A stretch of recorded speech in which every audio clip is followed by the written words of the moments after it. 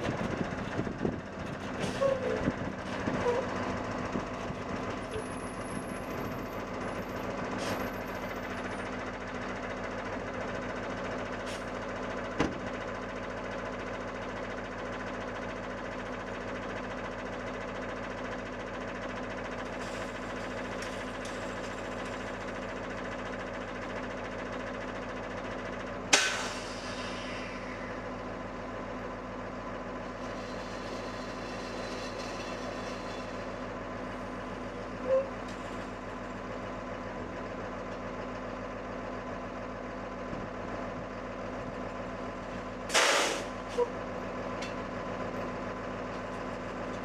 make a good point.